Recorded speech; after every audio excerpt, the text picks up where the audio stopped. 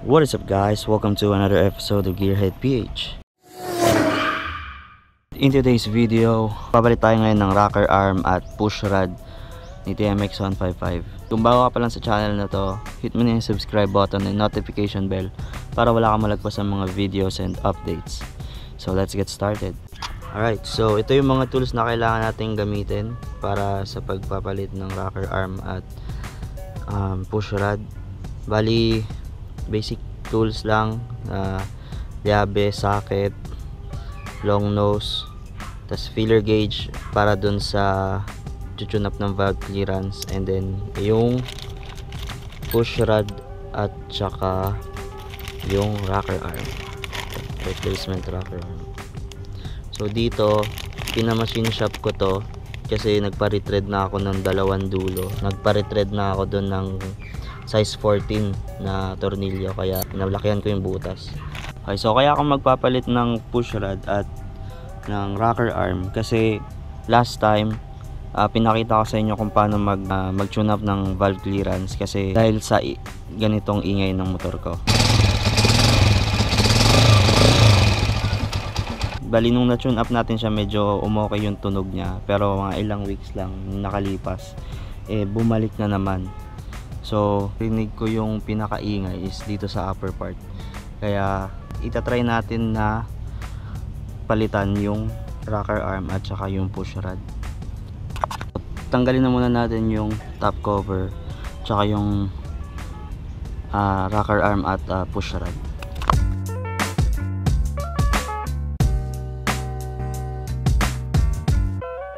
Yung replacement na rocker arm natin tapos yung push rod.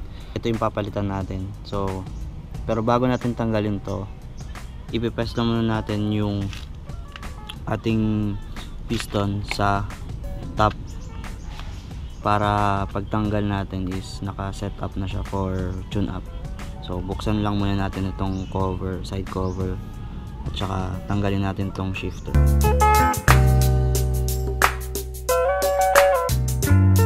Okay so ito na yung flywheel. So ikot natin siya counterclockwise. Tapos dapat yung marker na letter T itatapat natin dito. Yan. so kung mapapansin yun pag ito nakatapat na ibig sabihin nagagalaw na siya ng konti. So ayan. Okay. So ito pwede na natin tanggalin ito okay so tanggalin na natin.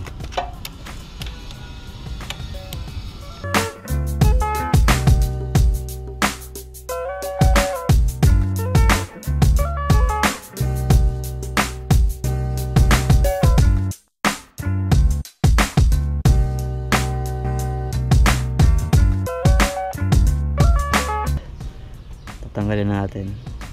Ayun. Ayan so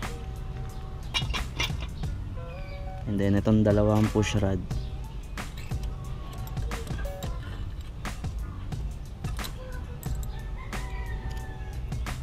So bali ito yung ito yung replacement natin tapos ito yung tinanggal natin. So kung mapapansin nyo itong isang to okay pa siya.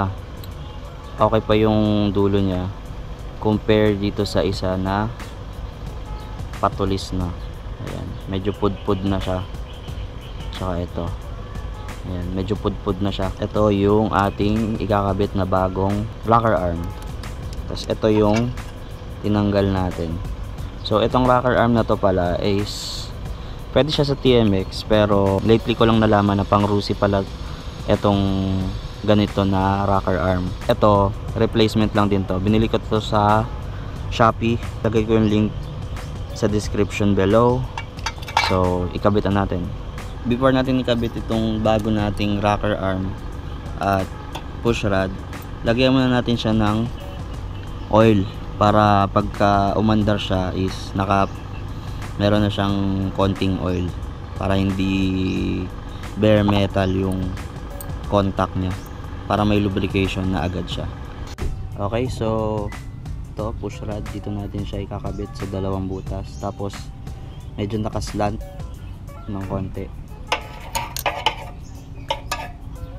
Yan. Ito.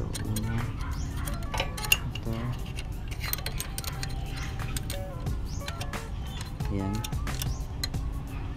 Yung pangalawa.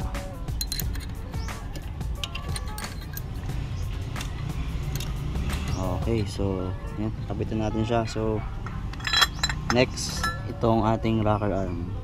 So luluwagan muna natin itong mga tappet screw. Luluwagan muna natin siya para ma-tune up natin.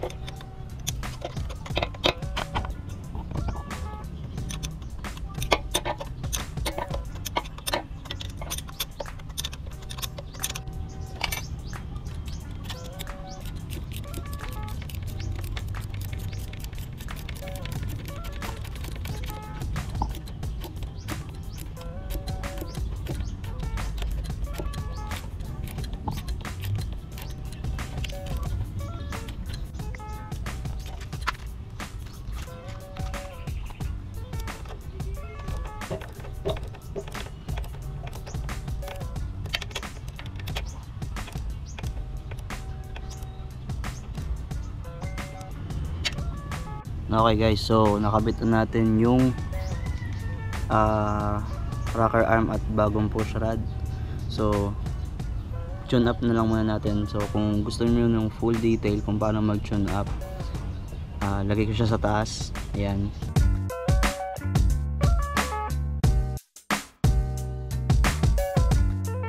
Tapos na natin i-tune up yung valve clearance. So, pan na lang muna natin tapos try na natin i-start kung ano yung resulta.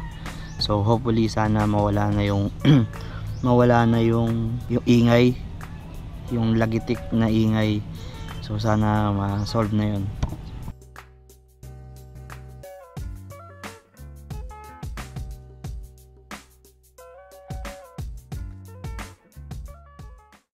Okay, so start na natin. Try muna natin i-start.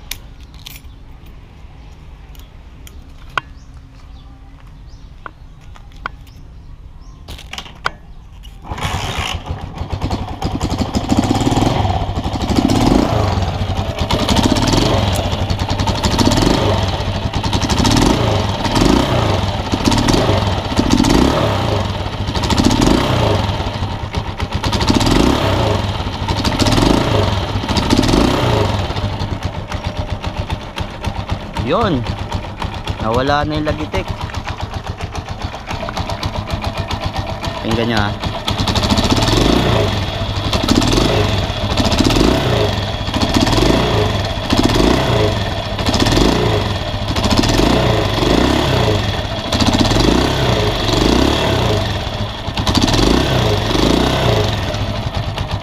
Whew. At last. Nice.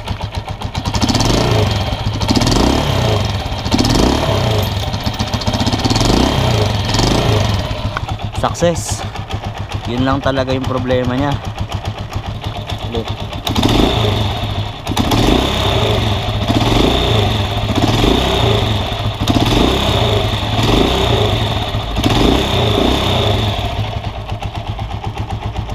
Alright guys, so for 2 days nung since na nagpalit tayo ng rocker arm at push rod so testing ulit natin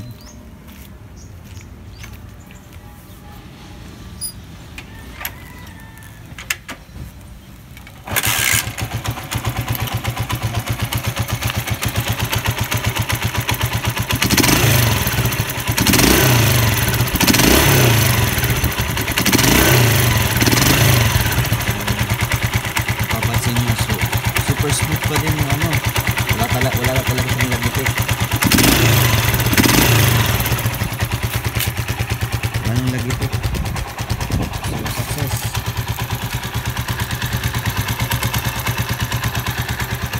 nagustuhan nyo yung video na ito, give it a thumbs up.